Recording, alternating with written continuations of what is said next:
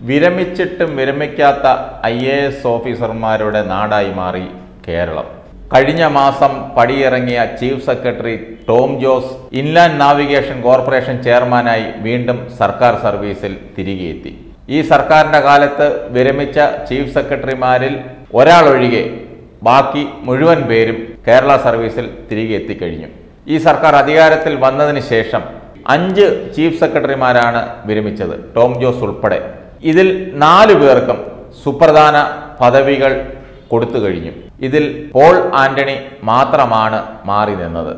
ആലുവയിൽ താമസിക്കുന്ന പോൾ ആന്റണിക്ക് കൊച്ചിയിൽ തന്നെ ഓഫീസുള്ള ഒരു നിയമനമാണ് സർക്കാർ വാഗ്ദാനം ചെയ്തിരുന്നത്.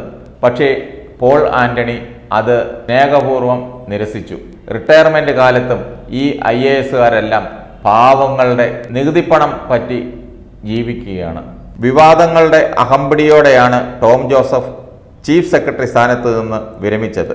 പമ്പയിലേക്കുള്ള ഹെലികോപ്റ്റർ യാത്രയും സ്വകാര്യ കമ്പനിക്ക് മണൽ മറിച്ചു വിൽക്കാനുള്ള ശ്രമങ്ങളും ഇപ്പോൾ പഴങ്കഥ. ഈ സർക്കാരിന്റെ കാലത്ത് ചീഫ് സെക്രട്ടറി സ്ഥാനത്ത് നിന്ന് വിരമിക്കുന്ന അഞ്ചാമത്തെ I A എസുകാരനാണ് Tom Jose. Inland navigation corporation ചെയർമാനായതോടെ സർക്കാർ വാഹനവും ഓഫീസും ആനുകൂല്യങ്ങളും ടോം ജോസിന് വീണ്ടും ലഭിക്കും.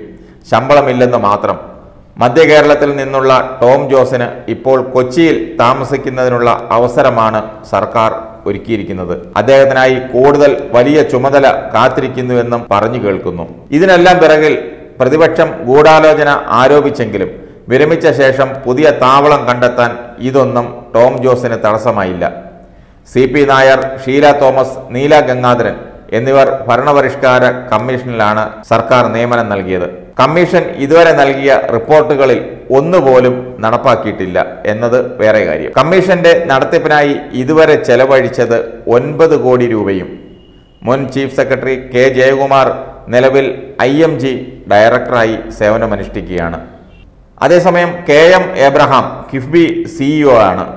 ചീഫ് സെക്രട്ടറി പദവിയിലിരുന്ന് സ്വന്തം ശമ്പളം വരെ എഴുതി വച്ചാണ് കെ എം എബ്രഹാം കിഫ്ബിയിലെത്തിയത്. ഇടതു സർക്കാർ അധികാരത്തിൽ വന്നപ്പോൾ ചീഫ് സെക്രട്ടറി ആയിരുന്ന എസ് എം വിജയാനന്ദ് ആറാം ധനകാര്യ കമ്മീഷൻ ചെയർമാനാണിന്ന്. നളിനി നെറ്റോ വിരമിച്ചപ്പോൾ മുഖ്യമന്ത്രിയുടെ ചീഫ് പ്രിൻസിപ്പൽ സെക്രട്ടറിയായി. അവർ പിന്നീട് രാജിവെച്ച് പോവുകയായിരുന്നു. Additional chief secretary principal secretary സ്ഥാനങ്ങളിൽ നിന്നും വിരമിച്ച ശേഷം പുതിയ ലാവണം കണ്ടെത്തിയവരുടെ പട്ടിക വേറെയുമുണ്ട്. പി ചന്ദ്രശേഖരൻ രമൺ ശ്രീവാസ്തവ ഉൾപ്പെടെയുള്ള ഐ പി എസ് ഉദ്യോഗസ്ഥരും ഇക്കാര്യത്തിൽ പിന്നിലല്ല. ലഭിക്കുന്ന പദവിയുടെയും സ്ഥാപനത്തിന്റെ വലിപ്പവും അനുസരിച്ച് ശരാശരി മൂന്ന് ലക്ഷം രൂപ വരെ ഇവർക്ക് ശമ്പളമായി നൽകുന്നുണ്ട്. കൂടാതെ driver office car private secretary വസതി തുടങ്ങിയ സൗകര്യങ്ങൾ വേറെയും. മൊത്തം ഏകദേശം ഏഴ് ലക്ഷം രൂപ വരെ ഇവർക്ക് ഈ ഇനത്തിൽ സർക്കാരിന് ചെലവ് വരുന്നുണ്ട്.